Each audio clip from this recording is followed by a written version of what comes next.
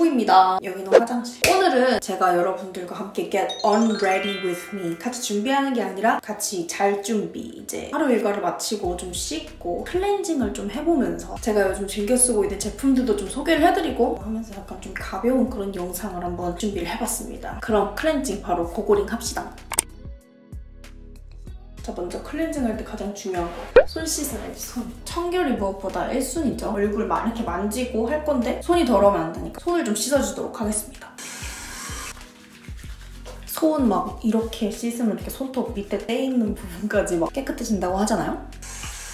다음에 클렌징 할 때 가장 좋아하는 시간 중 하나. 렌즈 빼기. 오 렌즈만 빼도 진짜 살 것 같아. 이게 사는 거지. 응.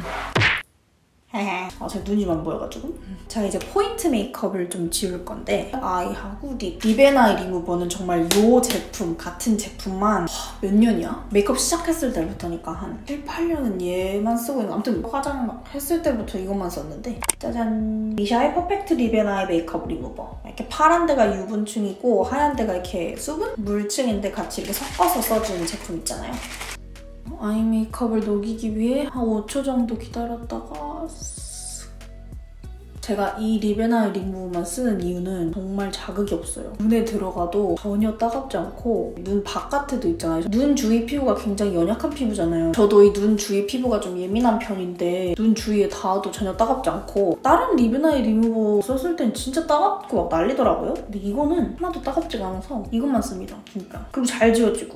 이 유행한 것 같은데? 저만 쓰는 게 아니라 뚜껑에 좀 덜어서 제가 마스카라를 좀 진하게 하는 편이라 마스카라도 꼼꼼하게 지우려면 이런 면봉 같은 걸로 보이세요? 다 꼼꼼하게 닦은 것 같다도 또 닦으면 이렇게 나와. 음. 이렇게 한쪽 눈꺼풀을 면봉으로 들고 리무버 묻힌 쪽으로 이렇게 해주면 좀 더 꼼꼼하게 할수 있어요. 자 이렇게 포인트 메이크업만 일단 지워줬고 이제 나머지 좀 베이스 얼굴 전체적으로 빨리 클렌징을 해보도록 할 건데 제가 특별히 오늘 좀 보여드리고 싶은 제품이 있는데 닥터지 약산성 클렌징 젤폼 오늘 베이스 메이크업 지울 때 사용할 클렌징 젤입니다. 이름부터가 약산성 젤 클렌징 폼이잖아요. 이 제품 같은 경우에는 약산성이어서 굉장히 저자극 세안이 가능해요. 피부 자극 테스트, 민감성 피부 자극 테스트까지 모두 완료한 제품이라고 합니다. 그래서 굉장히 저자극이고 제가 얼굴이 좀 커서 넉넉하게 짜줄게요. 그리고 이를 얘를 이렇게 펌핑을 한 다음에 물을 약간 좀 섞어줘요. 물을 약간 이렇게 섞어서 거품을 충분하게 내줍니다.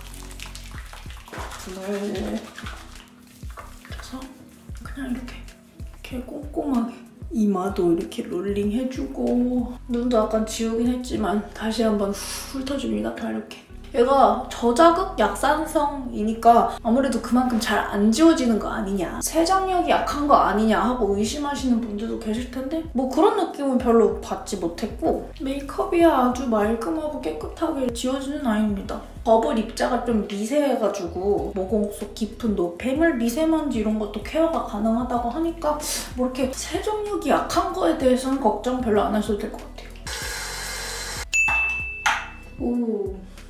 짜잔! 이렇게 클렌징 제품으로 세안 마쳤어요. 어때요? 메이크업 다 지워졌죠? 응? 안 지워진 데 없죠? 아, 그리고 약간 이건 뭐 약간 조금 세심한 감동 포인트인데 이렇게 사이드에 자세히 보시면은 점자가 있어요, 점자. 만져보면 오돌토돌한데 제가 최근에 유튜브에서 어떤 영상을 봤는데 생각보다 그 시각장애우 분들이 유용하게 쓸 수 있을 만한 점자 새겨진 시중 제품들이 많이 없다고 하더라고요. 그래서 되게 불편하시겠다 했는데 약간 세심한 감동. 화장품에 점자 있는 건 처음 같아요. 같아요. 또 이 장점 중에 하나가 당기는 느낌이 없다는 거. 확실히 약산성, 저자극성 제품들의 대표적인 특징은 세안을 하고 나서도 피부 당김이 좀 없다는 거. 그리고 약간 보습에 도움을 주는 Filagrinol 성분이 함유가 되어 있어서 그런 것도 있대요. Filagrinol, Filagrinol. 어딘가 있겠지. beauty award 같은 데들 있잖아요. 그런 데서 5관왕이나 탄 제품이어가지고 일단 제품력은 의심하지 않고 좀 믿고 쓰게 되는 것 같아요. 일단 제가 닥터지에 대한 평소에 좋은 인식이 좀 있기도 하고 선크림 되게 잘 썼거든요, 닥터지 거. 아무튼 저는 클렌징을 1단계 포인트 메이크업, 2단계 제품으로 전체 베이스 세안 이렇게만 끝내지 않고 이중 세안 있잖아요, 이중 세안. 한 번 더 해줄 건데 얘도 동일한 라인 Dr.G 약산성 Red Blemish Clear Soothing Foam 요 같은 라인 클렌징 폼인데 왜 스킨케어나 클렌징 제품들도 좀 같은 라인 써주면 좋다는 얘기가 있잖아요. 그래서 이것도 한번 사용을 해볼까 해요. 네, 이렇게 그러면서 세안을 완전히 마쳐버렸어요. 어때요, 여러분? 빠딱빠딱빠딱! Hey 아주 말끔하게 잘 세안이 된 것 같죠? 빨리 피부가 마르기 전에 먼저 스킨케어 스킨케어 해야 돼 스킨케어는 제가 얼마 전에 올렸던 영상에서 좀 자세하게 설명도 하고 막 보여드리고 그랬어가지고 중복되는 내용이다 보니까 좀 빠르게 그냥 넘어갈게요.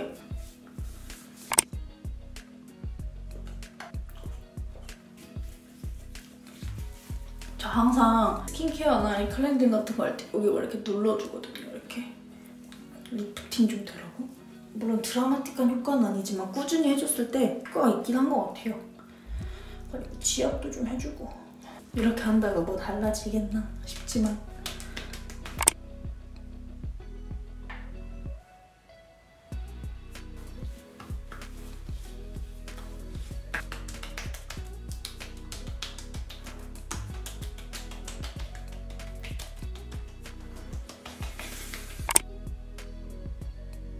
그다음 마지막 진짜 제 힐링템 달바 이거 스프레이. 마지막에 이렇게 그냥 샥 뿌려주면은 진짜 힐링 그 자체 피부에 정말 아낌없이 양보 그럼 이렇게 해서 클렌징이 끝났습니다. 오오오 정말 까르꼬름하게 세안 다 마치고 스킨케어까지 했어요. 진짜 좀 많이 좋아지지 않았어요? 약간 여기가 굉장히 좀 자극을 많이 받았었는데 마스크 때문에 이게 다 저한테 좀 맞는 제품들을 쓰고 약간 저자극, 민감, 민감 피부를 위한 순한 그런 제품들 쓰면서 얻어낸 이런 결과입니다, 여러분. 음. 네, 여러분 이렇게 해서 제 클렌징, 스킨케어 잘 준비, get on ready with me night routine 같이 잘 준비가 끝났는데요. 아주 두꺼운 화장을 벗어내고 이렇게 기분 좋게 클렌징을 했으니까 마음 놓고 편안하게 잠에 들 수 있을 것 같네요. 네, 여러분 그럼 오늘 영상도 시청해주셔서 매우 감사드리고 다음 영상에서 또 뵙도록 하겠습니다. 빠이요